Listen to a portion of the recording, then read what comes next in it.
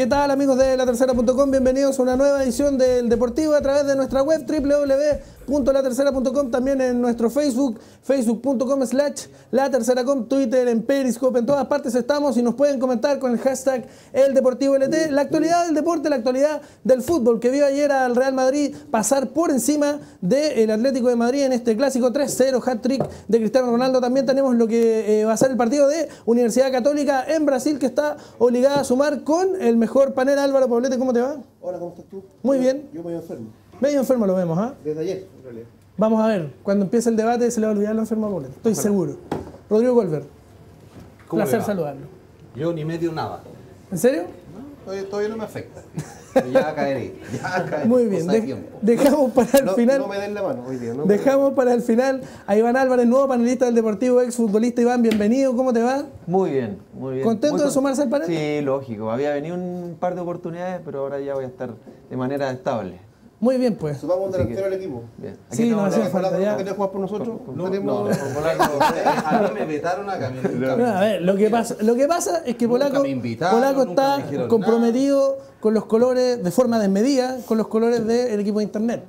Entonces, puede jugar Iván por usted y puede jugar Polaco por nosotros. Puede ser.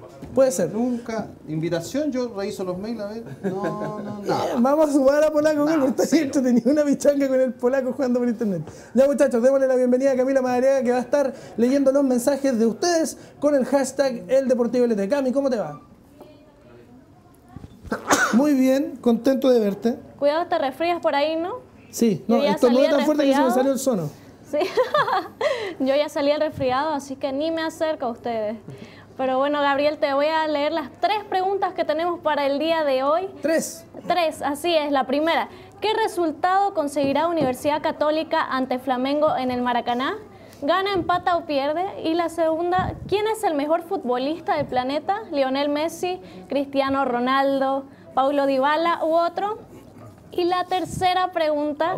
¿te gustaría que Alexis y Vidal jugaran juntos en el Bayern Múnich? ¿Sí o no? Ya saben amigos, voten con nosotros y comenten también todas sus opiniones. Aquí las estaremos leyendo más adelante. Muy bien, Cami, vamos a ver entonces qué dice la gente. Vamos a revisar de inmediato el resultado de la encuesta. ¿Qué resultado conseguirá Universidad Católica ante Flamengo en el Maracaná? 33% dice que gana, 23% cree que empata, mientras que una mayoría de 44% dice que Católica pierde el día de hoy en Brasil jugando en el Maracaná. Un estadio que, en el que Chile tiene desde el 2014 muy buenos recuerdos porque ahí fue donde le ganó a España. Católica de 2002.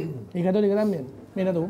Eh, ¿Quién es el mejor futbolista del planeta para ustedes? Muchachos, con el hashtag El Deportivo LT, 48% dice que Cristiano Ronaldo, 32% dice que Lionel Messi, 4% que Paulo Dybala, 16% que otro futbolista. Vamos a estar leyendo más tarde con la Camila las alternativas que ustedes proponen también. Eh, y sobre la última pregunta, sobre si gustaría o no que Alexis eh, Sánchez y Arturo Vidal jueguen juntos en el Bayern de Múnich, 77% de la gente dice que sí, mientras que un 23% dice que no. Ya lo saben muchachos, pueden comentar con el hashtag El Deportivo LT, los vamos a estar leyendo absolutamente en vivo y en directo. Y la pregunta es si les gustará a Arturo Vidal eh, que llegue Alexis Sánchez al equipo, si a Alexis Sánchez le gustaría o no llegar al equipo donde está Arturo Vidal y lo vamos a estar dilucidando más tarde, porque vamos a partir por casa. Hoy Católica se juega un partido bastante importante y le vamos a dar la palabra a nuestro panelista nuevo, nuevecito, Iván Álvarez. ¿Qué debería hacer Católica hoy día para traerse puntos? Porque si no se trae puntos se complica. Sí, se complica de, de sobremanera. Yo creo que Católica condicionó mucho la, la pasada, la otra llave el- con el empate con San Lorenzo. Me parece que ahí fue el, el- el grave error de, de Católica. Y yo creo que, que debe aprovechar los espacios que seguramente va, va a dejar Flamengo. Va a estar jugando de, de local en el Maracaná, una cancha que es pero gigantesca. Y Católica con, eh, con Noir, con el tanque Silva, que, ojalá que, que se destape de una vez por todas en, eh, en esta Copa Libertadores, debería aprovechar para mí las, las contras con el Chapa Fuensalía también, que, que seguramente va a ser titular hoy día. Las oportunidades no creo que sean muchas que se, que se cree hoy día, las va a tener que aprovechar, pero al 100% y estar muy, muy aplicado en la zona defensiva, porque eh, Everton, eh, el otro lateral Trauco, el, peruano, son unos verdaderos aviones que van por las bandas. ¿Sirve como ejemplo el partido que le hizo Católica a la U de Chile el fin de semana o no? Eh, una U que salió quizás a buscar un poquito más arriba, que Católica supo sorprender de, de otra manera contrarrestando el juego, que no, no sé si es lo que hace Católica regularmente también, que es un equipo que le gusta presionar arriba, que se siente cómodo, eh, jugando más en campo rival. ¿Cómo crees tú, Rodrigo, que lo va a ver Mario Salas el partido de hoy? Es que, a ver, yo creo que el ideal de Mario Sala sería ese. Pero no, normalmente eh, hay una, y sobre todo en torneos internacionales, hay una oposición activa de parte de un rival. Eh, y, por tanto, eso condiciona también tu actuar. Eh, por ejemplo, yo sé que cuando yo escuchaba a los jugadores de Católica en la previa del, clásico universitario, ellos decían nosotros queremos ser protagonistas y salir a apretar la U. Y los primeros 15 minutos no sabían cómo salir. ¿Por qué? Porque el otro te sorprendió de alguna manera. Hoy podría pasar algo similar. Yo, yo tengo, yo tengo la certeza de que a Mario Salas le gustaría plantear el partido en el campo contrario. Flamengo no es un equipo de apretar tanto, pero sí... eh, Es dañino con la es dañino- posesión. sí, con, la, con la posesión ocupa mucho, mucho, mucho la amplitud y lo que decía, lo que decía Iván, o sea, una cancha que es larga y que es ancha, y ellos juegan muchas veces de línea a línea. O sea, no, no, no es extraño ver jugadores parados en- en- prácticamente en la línea, y con lo cual se genera la amplitud que necesitas tú para, para, para- pa- para entrar en los, los- pasillos interiores. Entonces, eh, cuando uno ve tipos muy abiertos, ahí es donde un jugador tiene, y sobre todo en una cancha muy ancha, tiene que, la línea de volantes, tener mucho ojo, decir, a ver, ¿por qué me están haciendo esto? Ah, efectivamente, porque se van a meter mucha gente por el medio, van a venir encarando, me van a tratar de, de- de- de pillarme corriendo contra el arco, como le pasó en algún minuto con la U. Pero si hay alguna lección que sacó el otro día Católica es, eh, en el partido frente a la U, fue precisamente eh, saber aguantar este chaparrón y, dar, y tratar de darlo vuelta. Que O sea, tiene que, yo creo tiene eso- que ver con leer los, leer los momentos de los partidos, finalmente interpretarlos, no, que- tener dogmas. Es que, es que ahí, ahí es súper importante porque muchos eh, entrenadores y jugadores de repente uno, uno lo escucha y dice, no, yo muero con la mía y, si- y- y yo voy a morir con las botas puestas y atacando. Ah, li- lindo. Y si te hicieron cinco, no importa. entonces le, le- le quedaste Sí, claro. no, hay- Eso No, ahí, ahí, ahí, compadre, si yo, si yo veo que viene la lluvia y viene una torrencial, yo agarro el paraguas y me pongo y, y- y aguanto, aguanto, aguanto hasta que más Pero de pueda. alguna manera Sara simula con la suya. Sí, pero en el fondo- pero- sí, pero ha no- cambiado. No, no, no, no, no, no voy al, al- al esquema o, o cómo se va a parar Católica, me refiero, voy al, Porque el esquema siempre... voy, el- voy al, voy, voy al nombre del, al eje de ataque, que es eh, Silva. Silva.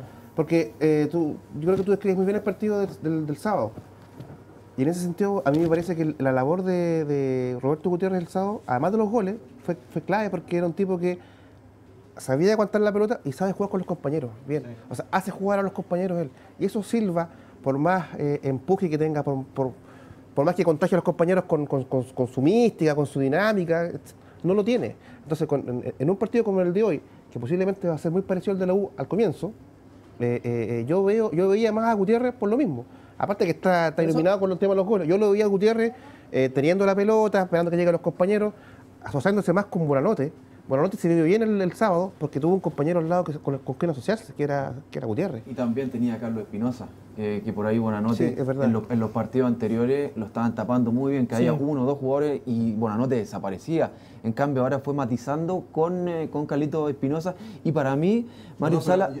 A, a propósito de Carlos Espinosa, pa- para, mí le vino muy bien retrasarse un par de metros. Claro, claro. Jugar, jugar ahí atrás más protegido, donde no le caen por atrás, donde no le caen por los costados, donde él siempre está recibiendo de frente. ¿Y casi dónde- muy claro para jugar. Y hay- donde hay- sus características de pasador lucen más también, porque, Exacto. porque la verdad Fíjate jugar que de enganche es el otro distinto que día- jugar con la cancha de frente. El otro día se paró al lado de Carlos Lobo. Ajá. Al ladito, Al ladito. Es como diciendo, tú cuídame. Sí.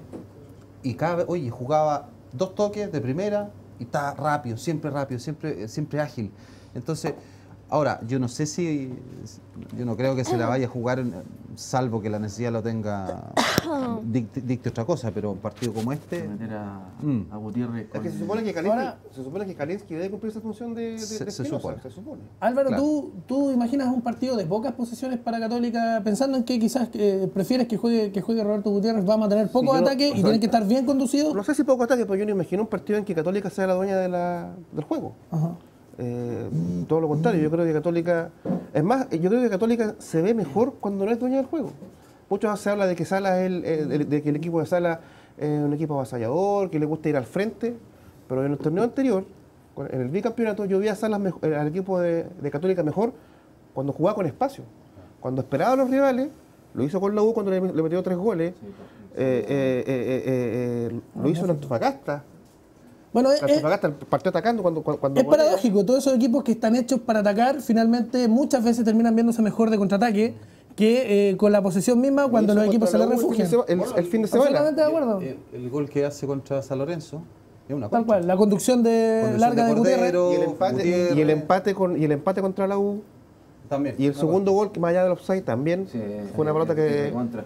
Yo, yo creo que, metiéndome en la, en- en la idea de, de Mario, que él no, no tranza su sistema de juego, ¿no? el típico 4-2-3-1.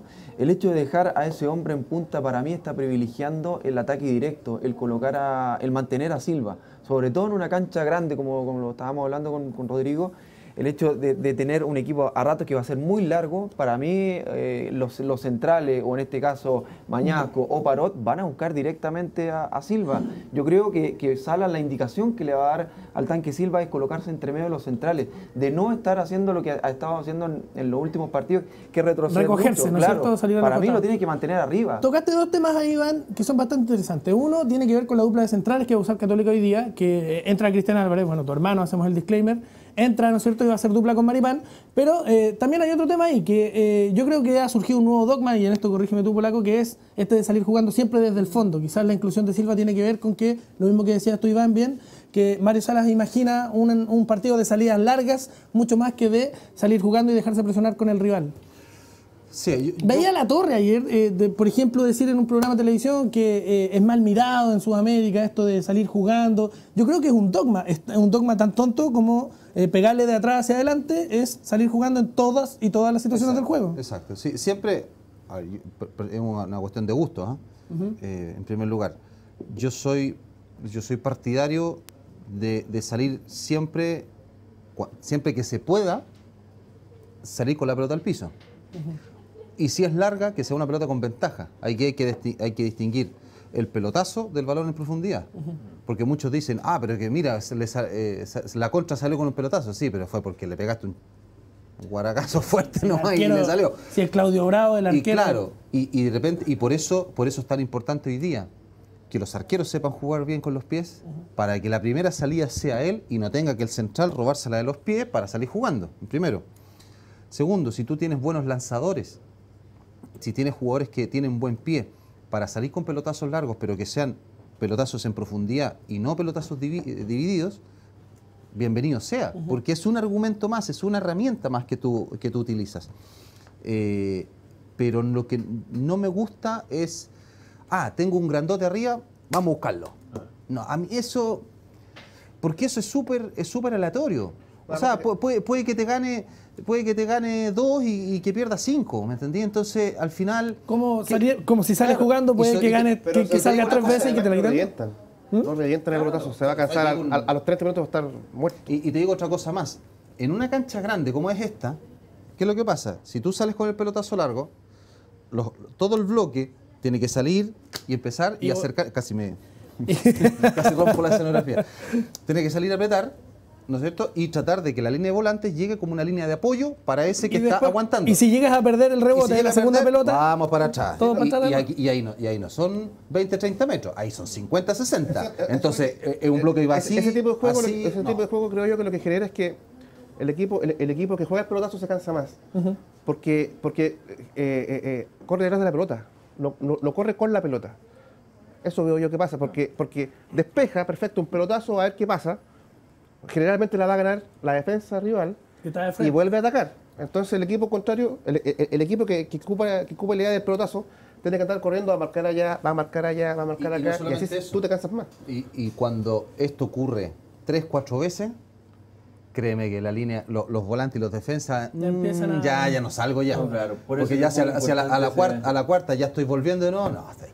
Es muy importante lo que haga el, el centro delantero. El centro delantero, si es que llegan a lanzar esos pelotazos largos y los posibles receptores, o sea, tanto eh, Fuensalida, Noir, eh, Buenanote, que estén cerca para el, para las- el, el segundo balón. segunda o pelota, la la- segunda, la- jugada de. Por eso sí. la pregunta es que todos han hecho desde el sábado. ¿Era el partido este para Silva o era un partido para Roberto Gutiérrez? Para mí es para Gutiérrez. Para mí. Para, para mí es para, para Silva. Para mí es Silva, por- porque yo veo, yo visualizo que el partido va- a ser así, que, que el Flamengo va a salir a atacar a Católica, sin ninguna duda. Y Católica va a tener que desahogar con balones en, en largos. algún, en algún momento va a tener que salir con ese pelotazo largo y, y Silva para mí aguanta mejor el balón que Gutiérrez. Yo estoy de acuerdo que, que Gutiérrez se lanza hacia atrás, que tiene un juego más asociado, que se junta mejor con, con Buenanote y lo ha hecho lo- lo- lo- lo- los goles, de hecho marcan presencia con, con Gutiérrez, pero en un partido de, de Copa Libertadores, si tú me dieras a elegir a- ahora, yo coloco a, a- a Silva. Lo que pasa es que yo creo que en ese, en- que en ese aspecto es cierto, eh, pero te estás arriesgando a que Silva gane o, no- gane o pierda. O sea, aquí hay una cuestión, una- una discusión que si Silva está prendido y gana, las gana todas, perfecto. Pero sí hay algo que te da Gutiérrez, que Gutiérrez, primero, colabora mucho con el medio campo. Segundo, es un tipo que eh, no es exuberante físicamente, pero de espalda aguanta bien la pelota y sabe pivotear bien. Entonces creo que él es un conecta mucho mejor la línea ofensiva con la línea, con la línea de volante. Para mi gusto, en un partido donde hay que ahorrar energía, donde hay que mantener la posesión lo más posible para no tener que andar corriendo detrás del resto, se me antoja mucho más útil un jugador e independiente. Yo aquí saco los goles de, de por medio, ¿ah? Lo- los saco y saco los, los últimos resultados. Porque, de- claro, porque eh, es injusto decir, oye, mira la- los goles que está haciendo Gutiérrez. Sí, en el campeonato nacional. Silva está jugando Copa Libertadores. Y le Yo- hizo yo a puedo- Flamengo acá en- yo en puedo San cons- Carlos, no una puedo jugada hermosa. No puedo comparar los dos campeonatos. Por lo tanto, el, el tema goles y resultados lo dejo fuera. Yo a- analizo netamente el funcionamiento del equipo, la, la funcionalidad del jugador. Y en eso creo que Gutiérrez me aporta más herramientas para mantener la pelota, para mantener la posesión, para seguir jugando con el resto. Creo que en ese aspecto me suma más que Silva. En ningún caso lo vieron juntos. ¿Lo, lo ven Ahora, juntos? perdón, per- perdón, y, aquí para darle el punto a, a Iván. eh, Ah, de- hay otro aspecto, que- per- que- con esto termino, mira. Lo que sí te doy es que Silva, de 10 centros eh, of- eh, ofensivos, digamos, defensivos en realidad de Católica, tipo gana 5. Eso te iba- Yo en eso- eso no no, tengo no. nada que decir. Yo- yo- yo te iba- el tipo ga- la gana todas. Lo ponemos de central entonces. No, no, Es que de mucha claro, como lo- los pros y los, los contras. pros los o sea, contras, ahí, lógico. ahí hay un pro de, de Silva que, que no es menor, que los balones detenidos Y, esto- a, a y en, y en contra y- también. juega- y, juega- y estos juegan mucho por arriba. Te va, va li- Flamengo. va- va libre, no, generalmente no toma marca Eso, Silva, y, el partido es de que visita el balón. y el partido de visita en Brasil el árbitro sabes que te, va a cobrar sabéis que te va a cobrar un par de, fouls cerca del área ¿Se acuerdan que jugó el, el- la U con Fluminense, creo que fue? eh, que arriba jugó el, el palote Olivera. que, que tiene mucho menos movimiento que Silva, pero que sí tiene esa, esa virtud de que las gana todo arriba. Sí. Y la U, la U ganó, ganó, o empató, no recuerdo. ¿no? ¿cuál está con gremio? Con, Fluminense, con Fluminense. Con Fluminense, sí. fue la Copa Sudamericana con Basualdo. 2 a 2 fue. 2 a 2.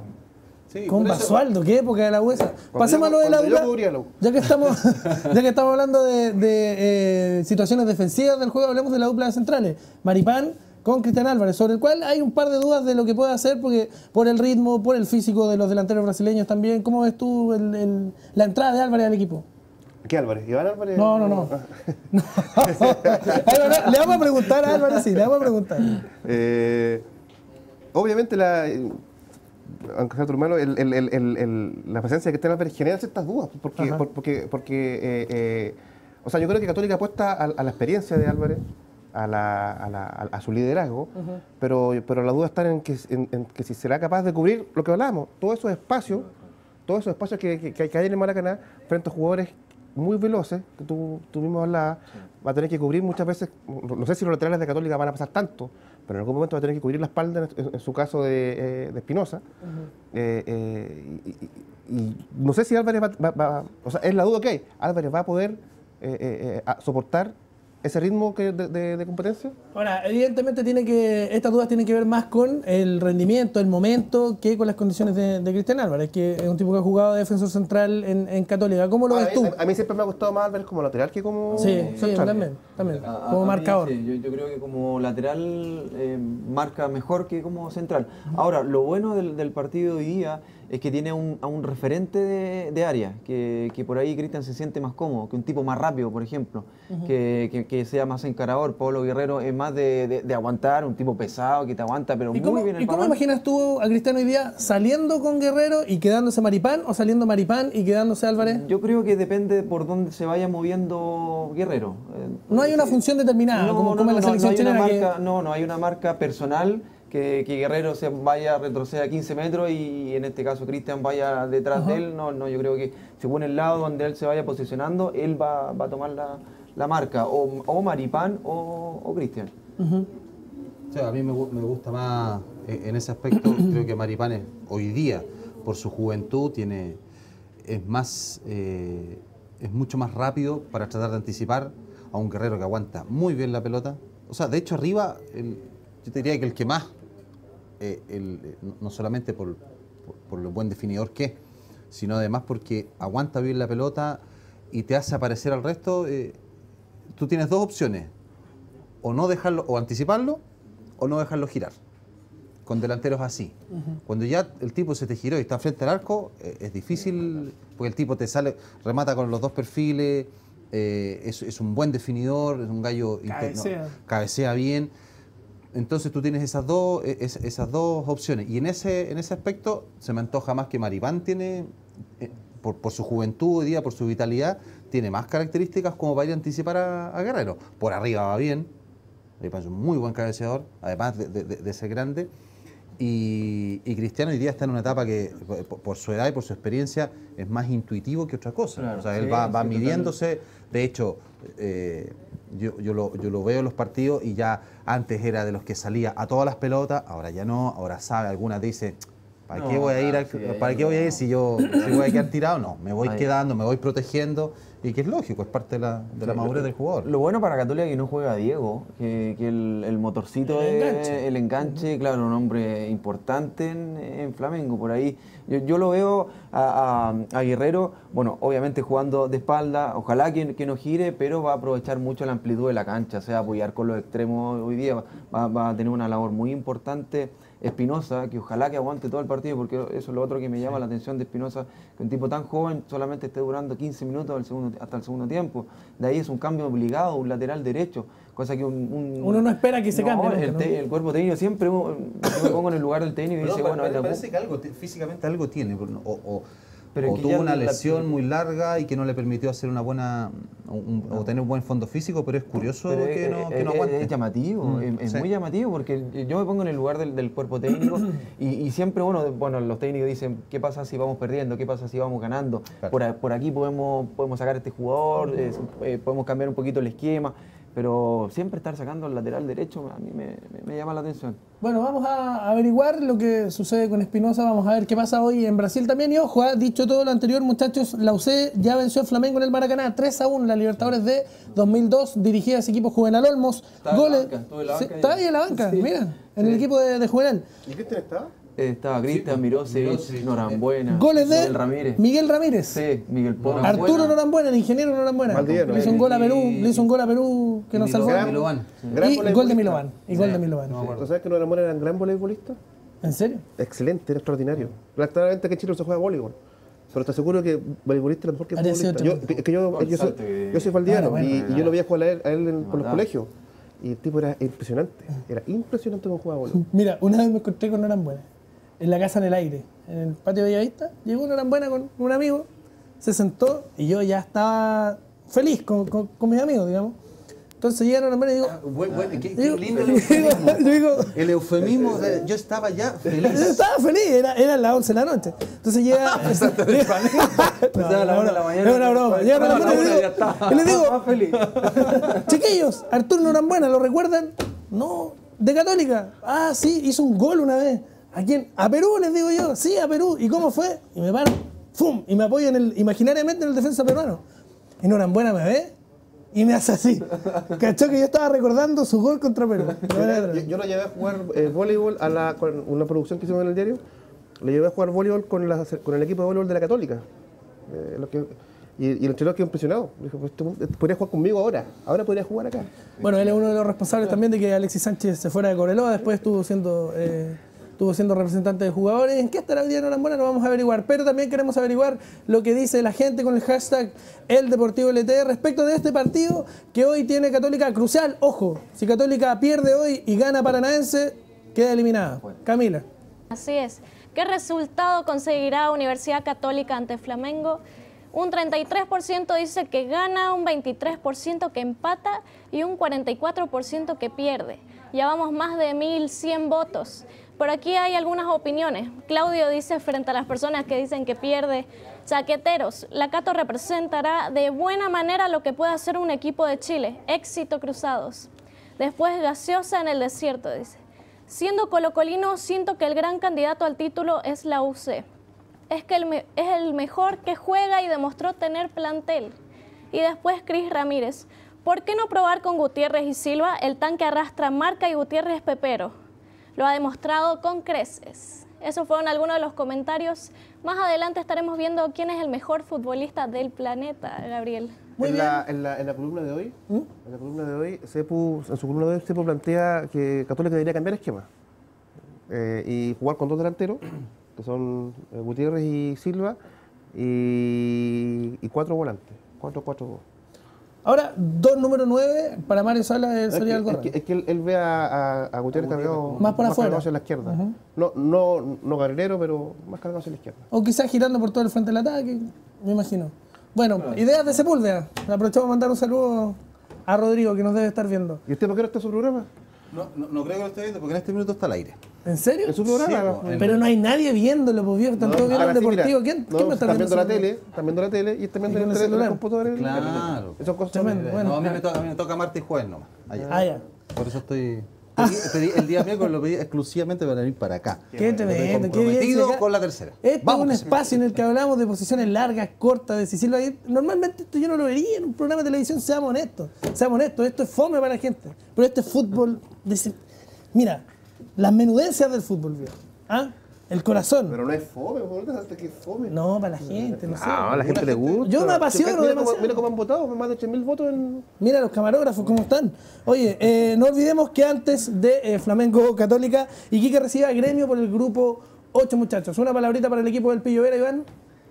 Partido fundamental. Eh, es difícil el gremio.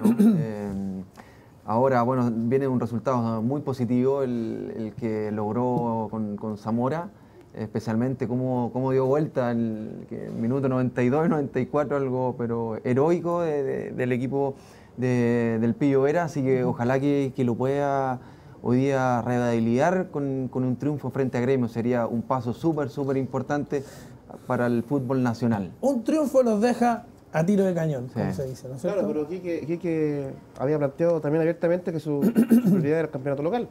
Pero como el campeonato local se le fue, o se le está yendo, ahora vuelve, a- vuelve a tener, a, a- a- esperanzarse en, el, en la Copa Libertadores. Yo no sé.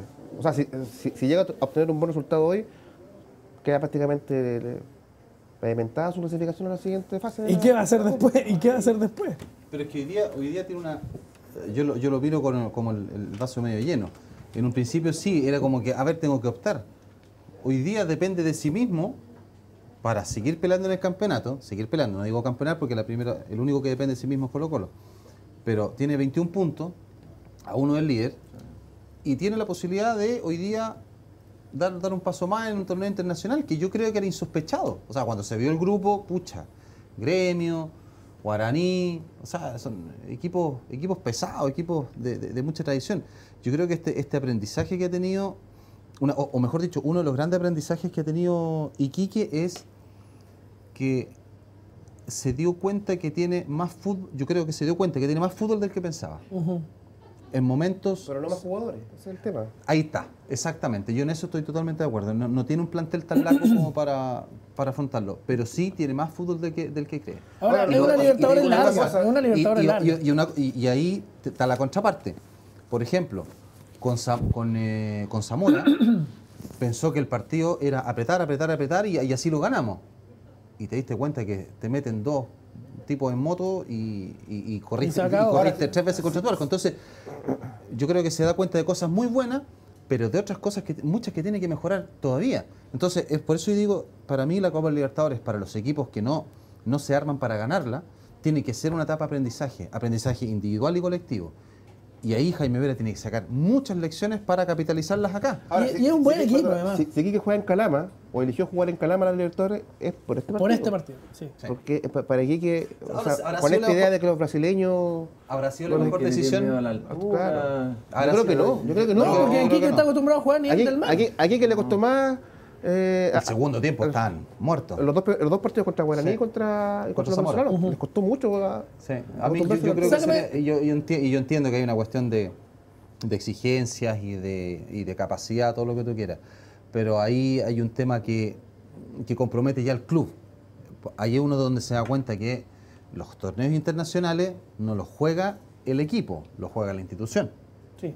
O sea, tú tienes que ir con todo y tienes que tener la infraestructura necesaria. Eh, yo, yo creo, sinceramente, que aquí sería mucho más peligroso eh, en Cabancha frente al mar que, que en Calama.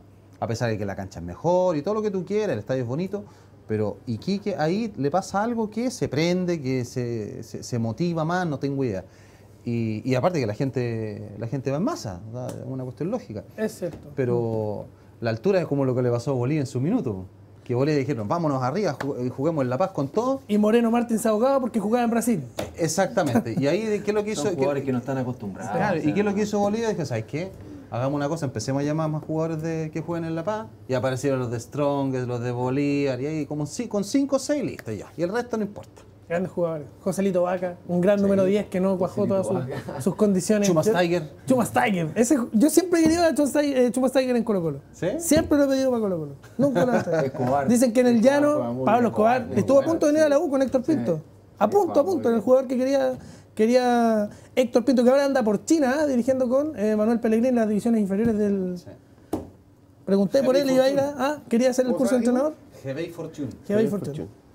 Ya muchachos, dejamos eh, hasta ahí entonces la participación de los equipos chilenos en Copa Libertadores. Veamos lo que hace la UC hoy, lo que hace Iquique y obviamente lo vamos a estar comentando mañana a las 12, al igual que esto que acaba de suceder, que me da gusto decirlo. Cristiano Ronaldo, jugador favorito del editor de deportes, le hizo tres goles, no uno, no dos, sino tres goles al Real Madrid en el Clásico de Madrid por la Champions League y se encamina yo creo ya directo al Balón de Oro Álvaro, ¿no? Si no se lo van ahora, O sea, Con Messi más, eliminado. Otro más, pero, pero co- co- como está esta... De forma indiscutida, porque sie- siempre Ronaldo tiene que pasar penuria. Este, sí, este duopolio entre Messi y Ronaldo, en esta pasada yo creo que si, si lo capitaliza con un título, o quizás si queda con el título, eh, Cristiano Ronaldo va camino a ser el- nuevamente el mejor jugador del mundo este año, esta No, temporada. lo que hizo ayer es extraordinario. O sea, un, un paso y medio a la, a la final de la Champions Cristiano. Y, y tres El- cuartos también. Y, sí, no, O sí, sea, ¿te imaginas eso- cómo le eso- dolió este titular a, a nuestro editor? ¿Te imaginas cómo le dolió? Cristiano nació para esto.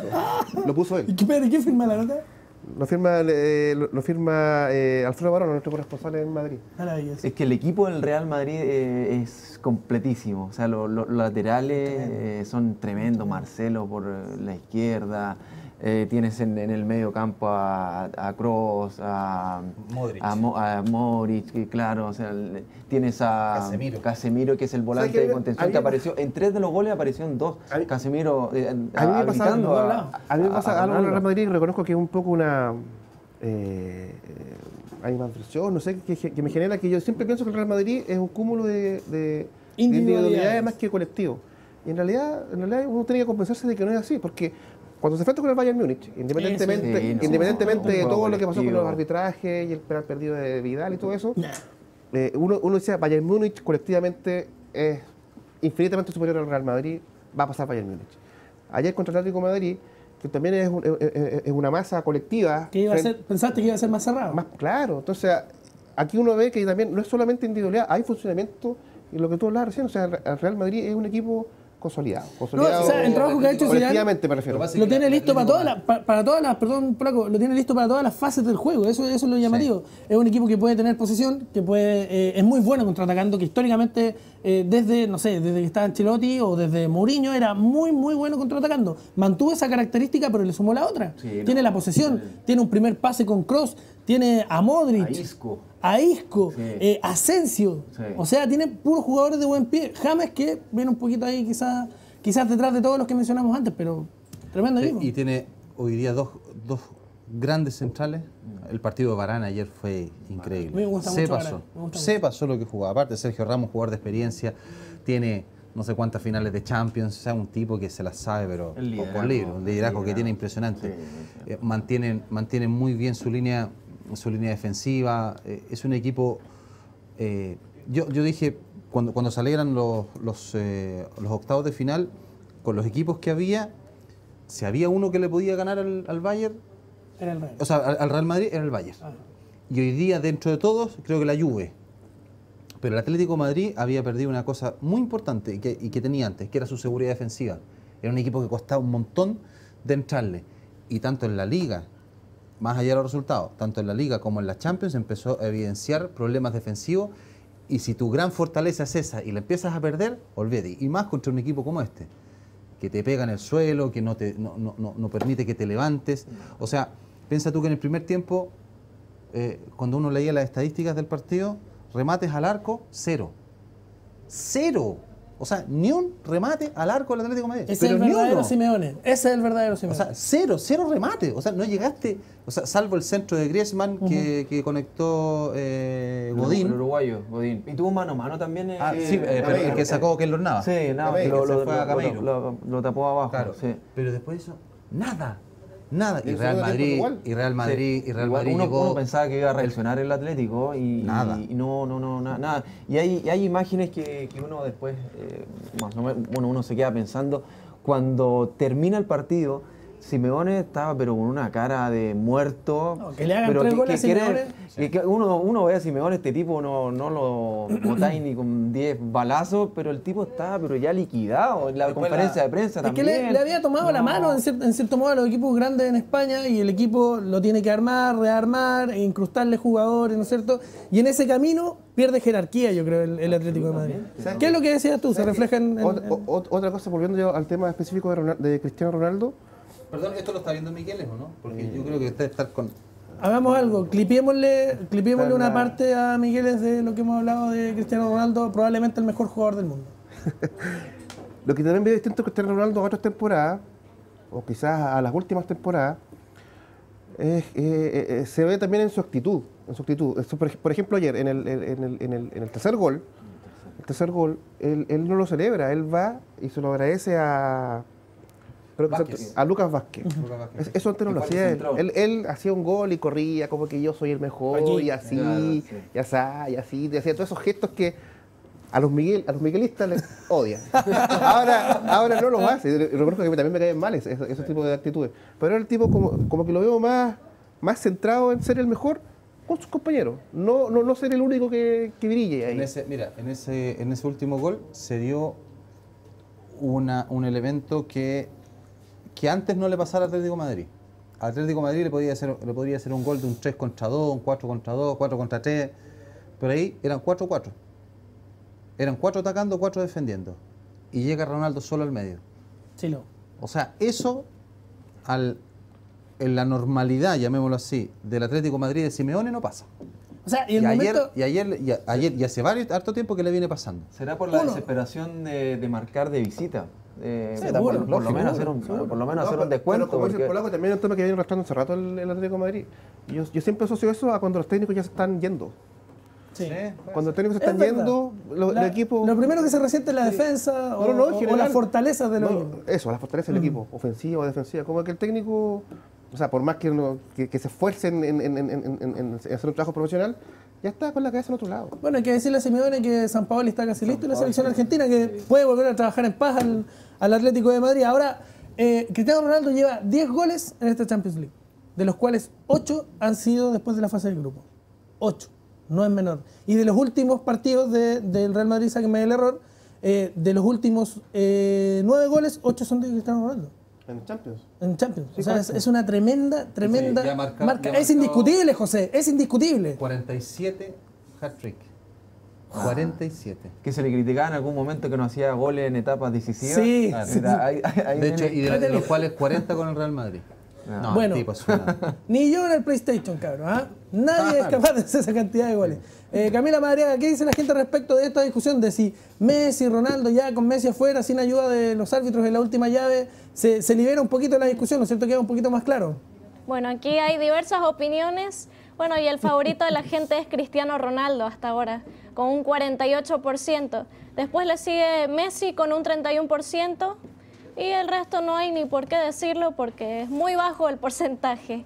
Bueno, vamos aquí a los comentarios. Jorge Mandiola, el rey Arturo, los otros son puro marketing, dice.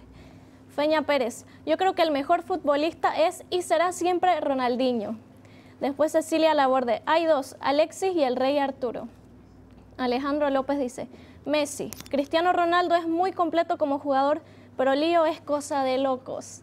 Y Julio César dice Messi, Hernán Cid dice Cristiano Ronaldo. Bueno, hay de todo un poco aquí, Gabriel. Te- después te voy a estar leyendo la otra encuesta, la tercera del día de hoy. Muy bien, tres encuestas, a falta de una de dos, tenemos tres encuestas. votadas. Y todas de verdad con mucha Oye, votación y bueno, mucha gente conectada hasta ahora. yo entiendo que yo entiendo que hay eh, que hay jugadores que tienen eh, mucho eh, mucha publicidad y tienen un, eh, un- una resonancia mucho mayor que otros. Eh, en ese aspecto, yo por ejemplo, yo sé que a mí un jugador que me encanta y que nunca se va a ganar un balón de oro y nunca se va a ganar probablemente ninguno de esos grandes premios, Iniesta.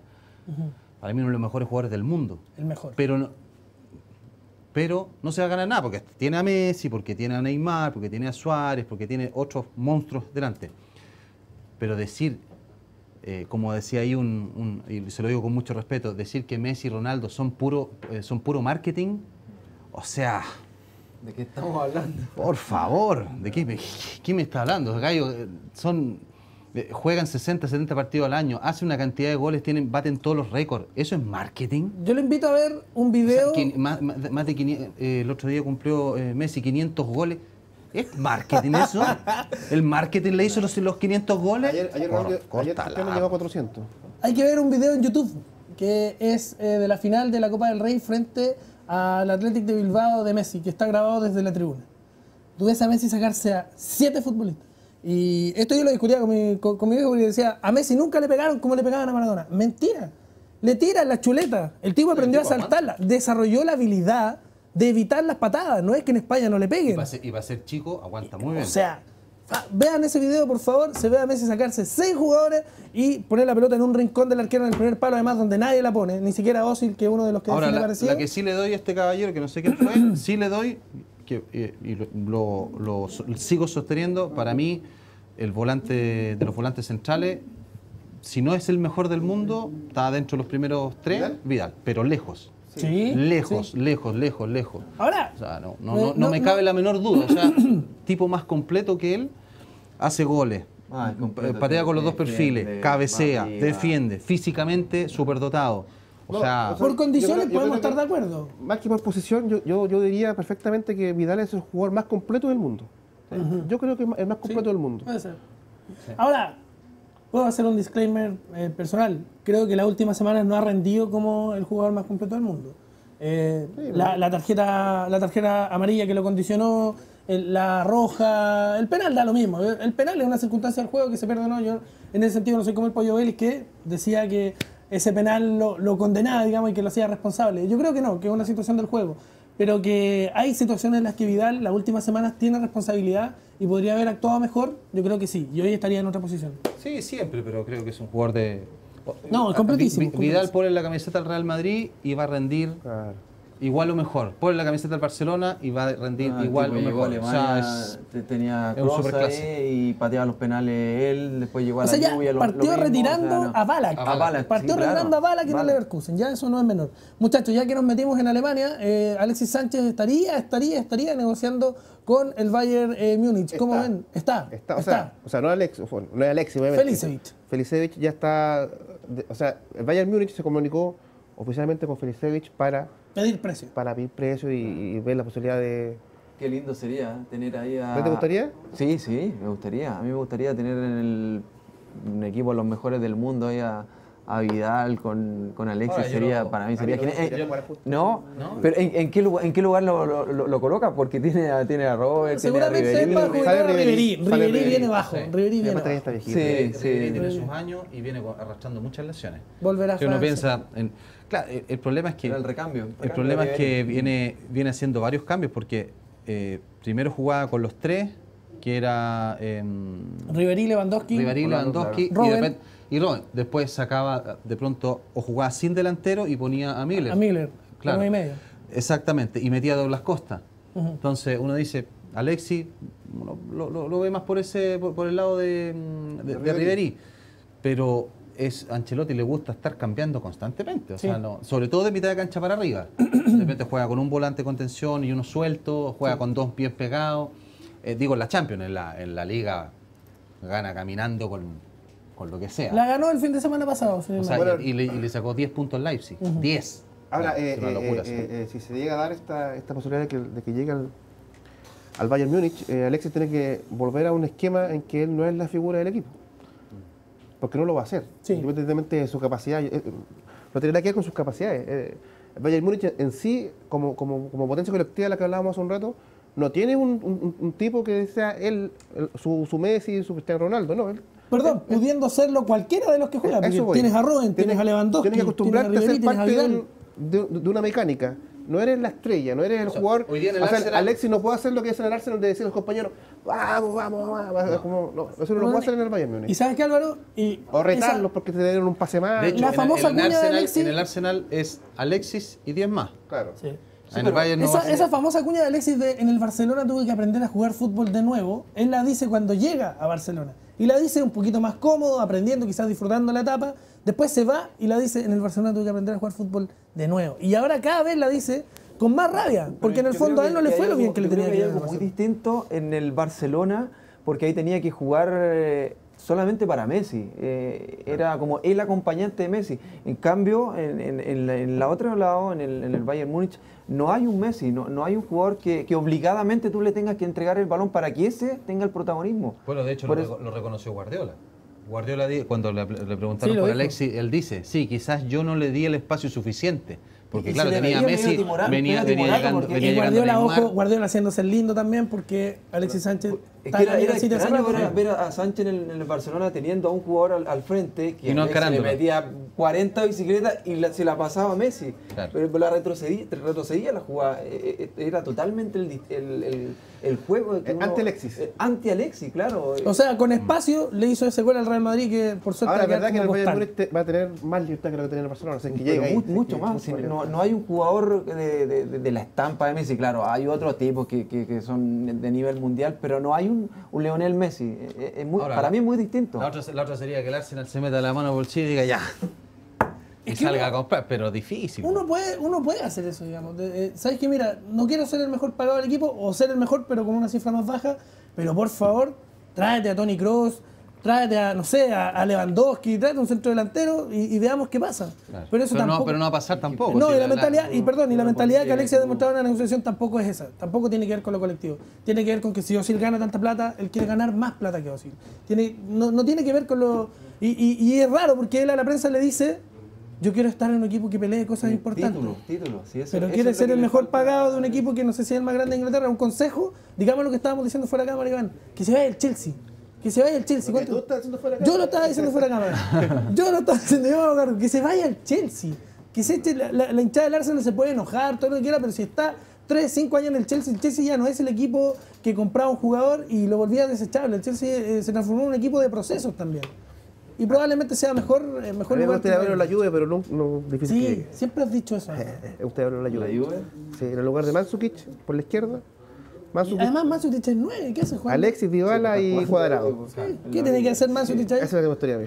Bueno, que se meta la mano al bolsillo cualquier equipo, pero el Bayern Múnich Ahora, a mí Wenger- tampoco me gustaría verlo con Vidal. Wenger dio una pista, dio una pista, dijo, a ningún equipo de la Premier, a ningún grande de la Premier lo voy a vender, pero no dijo nada de venderlo para afuera. Ya muchachos, eh, avanzamos al bloque 3 porque eh, Hoyos, Ángel, Guillermo, se empodera la U, Azul Azul arma un proyecto de divisiones inferiores con él a la cabeza, que recordemos un poquito el trabajo que, que hizo en el Barcelona durante algún tiempo. ¿Cómo se ve esta U con un Hoyos más protagonista ya quizás en ese tipo de decisiones, Rodrigo? Eh, Un proyecto que lleva seis meses el de Hoyos y ya le Mm. están dando carta blanca para meter mano en la, en la división inferiores. es que, a ver, ¿O tiene que ver con la ausencia de tiene- Murúa? No, no, no, yo creo que son, son varios factores que están, que están influyendo acá. Es primero la salida de eh, lo- los jefes técnicos que tenían antes, que eran lo- los, dos, eh, los dos españoles. Tiene que ver con la presencia hoy día de un gerente deportivo que no lo tenía, de uno y dos también, porque eh, Sabino Watt eh, trabaja también como asesor del, del directorio. Entonces, acá tiene, eh, yo creo que es una, es una, una cadena de cosas de- y de sucesos que están, que, que se- que tienen que tener o tienen que desencadenar en una política deportiva que no ha tenido la U los últimos años. Por tanto, eh, si han encontrado en, en Guillermo Hoyos un, eh, un momento de tranquilidad, han encontrado un juego que les permite, primero, recuperar al equipo, meterlo en la pelea de un título, me parece lógico. Ahora, yo creo que eso tiene que ser, el nombre de, de- de Guillermo Hoyos tiene que ser independiente de lo que se desarrolle como política de club. O sea, él es un agregado a esto. Él puede sugerir, él puede colaborar con esto, pero el que desarrolla las pautas del club son, es la gerencia deportiva, no es el técnico. Bueno, porque, si el llegaría- tec- porque si el técnico se va, ¿qué pasa? Claro, el, ¿Me el- entiende? el- el técnico que llegaría a cargo de las divisiones inferiores tendría relación directa con Hoyos, lo que yo no sé si es tan sano también. O sea, No. ahí ya estaríamos sacando al Cookie Enrique de la sub Él es, él es el suplente. Ahora dicen que Enríquez también podría, podría tener ofertas de trabajo en el corto plazo. Sí, pero, pero es que para eso, para eso, mira, el- lo- las divisiones, o los- el jefe de divisiones inferiores tiene que rendirle cuenta al, a- primero, a una, Al gerente al deportivo, pero en el fondo, claro, o, una persona que sea designada el gerente deportivo. No puede rendirle cuentas al director técnico. O sea, ah, yo también, yo, yo estoy, eh, yo no estoy de acuerdo que, que en este caso, en- en- por ejemplo, en, en Colo Colo eh, se le pase la llave a Pablo Guedes y para afuera a Rodolfo Madrid. Yo traigo un amigo mío. Yo estoy completamente en desacuerdo con eso.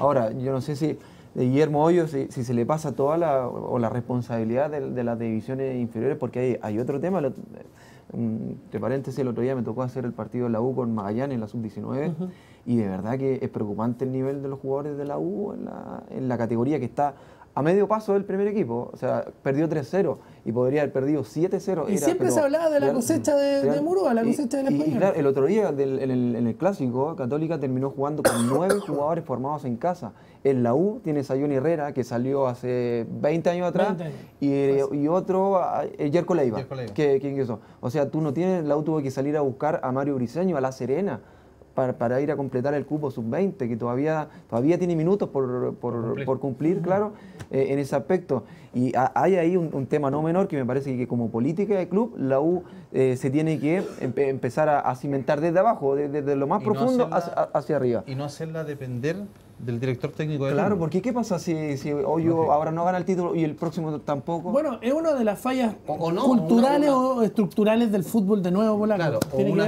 una cuestión, supongamos que a Hoyos le va el descueve y se lo lleva otro equipo. Puede ¿Y ser por bien o ¿Y por mal, claro. Claro, por bien o por pero no. O sea, los, lo- los desarrollos deportivos tienen que ser independientes de las personas que estén a cargo. Independiente del técnico, independiente del presidente, in- incluso independiente del gerente deportivo. O sea, si la, si la política del club es una, son, las personas que llegan tienen que adecuarse a eso y ejecutarlo. No llegar y decir, ah, yo llego ahora, entonces esto va a ser así, y yo traigo a Juanito y este lo... No. Siempre el ejemplo eh, para hablar de este tema siempre termina siendo el Barcelona. El Barcelona inspiró la política igual en la del Ajax también. Y, tenía, y tiene que ver con una idea de juego asociada a metodología de cómo buscar los jugadores, que fue lo que intentó replicar eh, Bielsa Newell's, por ejemplo. Ahí quedó algo estructural, pero que se va, y quizás es una de las falencias que tiene el fútbol como, como, no sé, como en las instituciones o culturalmente el fútbol, que es que se le entrega el poder a un entrenador que puede durar seis meses, un año. Caso de Guede, que para mí en Colo Colo eh, se le entrega más poder del que debería tener un entrenador del primer equipo por poner solo un ejemplo, porque es distinto un entrenador que viene por seis meses con una idea que puede o no resultar, que un tipo que viene trabajando en divisiones inferiores, que conoce a los niños, que conoce eh, a los adolescentes y que conoce a los adultos que finalmente terminan jugando en los primeros equipos. Camila Madariaga, vamos contigo y esta tercera pregunta que me prometiste hace un ratito. Así es. Sí, la, la gente dice con un 77% que sí le gustaría ver a Vidal y Alexis Sánchez juntos en el Bayern. Pero aquí también te traigo algunos comentarios. Siempre Barrera dice, sí, pero me gustaría más que ambos jugaran en el Chelsea. Igual que tú. Después Eduardo Correa, siempre hay choques de egos, es mejor que no. Después Ricardo Vidal. Obviamente, es un equipo que siempre está peleando la Champions. Y por último, Evelina. Sin duda, es tremenda dupla. Esos fueron los comentarios de hoy, Gabriel. Bueno, nos vemos mañana. eh, En y Mouse, sigan. ¿o no? Así es. También en Mouse, en el Deportivo. Nos vemos mañana, Cami. Nos vemos. Cuídate. Saludos a todos. Gracias. Eh, tremenda dupla de eh, Vidal con Alexis Sánchez que a mí me gustaría seguir viendo absolutamente en la selección chilena. No sé si a nivel de clubes. A nivel de clubes que cada uno luzca, que siembren por, por Europa, por todas partes, pero ojalá por separado. Son como, siempre lo digo, son como Steve Huga y, y Oliver Atom. No me lo imagino a nivel de clubes al menos jugando juntos. ¿Para qué? ¿Para qué vamos a poner a Vidal a, darle pase a. Alexis? ¿Le gustaría? A mí me gustaría, sí. Yo no sé si a ellos les gustaría, honestamente.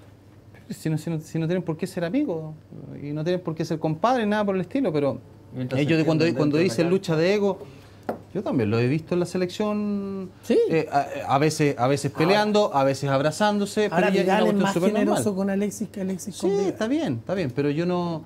A ver, ¿tú- ¿tú crees? Mira, Eh, en el de los pases, el de apoyarlo cuando, porque- cuando, porque- porque cuando su algo función- sale mal. Yo- Mira, yo- no, sí, yo- hace, hace lo básico, digamos. Hay lucha ¿tú de ego, hay lucha de ego hay lucha de ego, pero, sí. pero en la cancha no. Pero No, en la fíjate, cancha mira, no, en la cancha tú te no. imaginas, por ejemplo, Alexis Sánchez llegando, supongamos al Bayern Múnich, eh, y preocupándose de ser mejor que Vidal antes que, por ejemplo, tener la gran oportunidad de ganar un título? O sea, si lo que No más quiere a ver, él- porque si yo digo que sí, no, yo, yo creo que él lo que más quiere hoy día es, es ser campeón, es disputar una Champions, o sea... Eso es eh, lo y que le si- falta Alexis. claro, individualmente lo tiene todo. el tipo, claro, es extraordinario, pero a nivel de club, de, de- de título, le falta eso, porque en el Arsenal no, no, no lo va a lograr. O sea, no, es tendría verdad. que... El Arsenal puede hacerle gol a Ludo Goretz, pero a equipos más grandes y no es culpa de él. Ojo, no es culpa de él. La clásica caricatura del hace gol a equipos chicos, del jugador pijama que anda bien dentro de casa, no tiene que ver con eso, tiene que ver con la jerarquía que tiene el equipo en el que está hoy y del que ojalá se mueva. En eso sí estamos de acuerdo. Ojalá se mueva el Chelsea. Eh, el deseo de este conductor. 30 segundos para cada uno de los panelistas del Deportivo el día de hoy. Vamos a partir con Rodrigo Goldberg. Polaco, este es su remate directo. Tiene 30 segundos a contar de ahora ya. Ya, eh, a propósito de un tuit que recibí hace muy poco del sindicato de futbolistas eh, instando a, sus asociados, a sus agremiados, a siempre consultar en la inspección del trabajo antes de firmar un finiquito. Eh, es su pega, es responsabilidad de ustedes, es algo que ustedes tienen que hacer, es algo que ustedes, eh, cuando muchos jugadores han ido a la inspección del trabajo, los han tenido esperando eh, a veces hasta sin respuesta en un día. Y muchos saben que cuando un dirigente les pasa un cheque dice, oye, en vez de pagarte 10, te pago 5 al tiro, y muchos de ellos por necesidad firman. Y a veces firman cosas que no entienden. Entonces, eh, más que instarlos a que vayan a buscar una, una asesoría, yo creo que el sindicato de futbolistas tiene que estar para eso, tiene que estar para proteger los intereses. No solamente para salir a defenderlos cuando algún comentarista, como pasó la semana pasada, eh, que el pollo no le gustó lo que dijo el pollo Belli, que lo estoy de acuerdo, estoy de acuerdo, a mí tampoco me gustó, pero no es su pega. No es su pega defenderlos de lo que dice el resto. Su pega es con una cuestión mucho más importante. Y, es transparentar, cosa que están haciendo muy bien, es aclarar las cosas como, eh, con la administración anterior, lo están haciendo muy bien también, pero si hay algo que tiene hoy día el futbolista de, ne- de- de necesidad absoluta es de asesoría, de asesorías legales, asesorías tributarias, asesorías de- e- económicas, eh, saber si los jugadores saben manejar o no manejar su plata. Es una cuestión tan sencilla como eso. Y sobre todo cuando se trata de un finiquito. Ahí tienen que estar ustedes. Muy bien, el remate directo de Rodrigo Polaco Goldberg también en la educación. Asegurar una carrera. Oye, a todo de a- ayer vi, ayer vi eh, algo que me, que me encantó. Me parece que fue en San Luis. Me parece que fue en San Luis. No, ¿De la estoy- escuela de fútbol? a, a lo- a las inferiores. Que le estaban sí, haciendo. está- lo están preparando Eso, para dar entrevistas. Para dar entrevistas. Le sí. están haciendo un, un, eh, un, eh, un- un entrenamiento para, para dar entrevistas. Maravilloso. Pero espectacular, muy bien, excelente, son cosas que deben hacerlo todos los clubes. Pasó en Católica. En Católica eh, tuve la suerte de, de estar invitado también dando una charla sobre el peligro de las redes sociales, a los futbolistas, cómo manejarse con las redes sociales frente a los medios de comunicación, pero terminé hablándoles de fútbol. 30, 30 30 segundos para Iván Álvarez, nuestro panelista debutante el día de hoy del Deportivo. A contar de ahora, ya. Yo me voy a referir a, a dos ídolos de- de- a nivel mundial, de Lionel Messi y de Cristiano Ronaldo, que mm, las comparaciones son un poquito odiosas, el momento de disfrutar a estos dos monstruos del fútbol mundial. Ayer Cristiano Ronaldo solito se encargó de marcar tres goles, número 103 a nivel europeo y el gol 400 en el Real Madrid. Lionel Messi lleva más de 500, así que es un llamado a gozar y a disfrutar de estos dos ídolos, de Lionel Messi, Lionel Messi y de Cristiano Ronaldo. Muy bien, clarito el remate directo de Iván Álvarez, nuestro nuevo panelista. Vamos a estar viendo hoy lo que haga también su hermano en la defensa central de, de Que le Católica. vaya bien a Iquique, que le vaya bien a Católica por el bien del fútbol chileno, que nos dejen bien representados. Iván, nos vemos. Nos vemos. Polaco. Que le vaya muy bien. ¿ah? No, no, no, ¿No? No, ¿Por está resfriado, pues, sino que casi se murió. Ayer pasó lo mismo. que-. Acá. Oye, menos mal, fue, generoso el director, ¿ah? no La habilidad de los directores. La Sofi, Sofía, directora también de más. Gracias, Sofía. Ah, Muy bien, Sofi, mujer muy ahí bien. con canales en el Switch. Bien, polaco, no, no te desconcentres. No, me concentré que estaba así, pero lo, veía el pobre estaba... Pero ¿saben qué? hablar. Nos, nos queremos reír, así que tiene que terminar el programa de hoy para poder eh, reírnos de esta situación fuera de cámara. Nos vemos mañana a las 12 con eh, Camaño, a las 3 Maus, viernes a las 12 también, el Deportivo. ¿Ah? Lamentablemente hemos pedido, Polaco, que haya otro animador para ese día, pero yo tengo compromiso. Ah, ya, nos vemos. Muchachos, nos reencontramos mañana a las 12 acá en el primer y mejor panel deportivo de Internet. Esto fue el Deportivo a través de la tercera. Chao.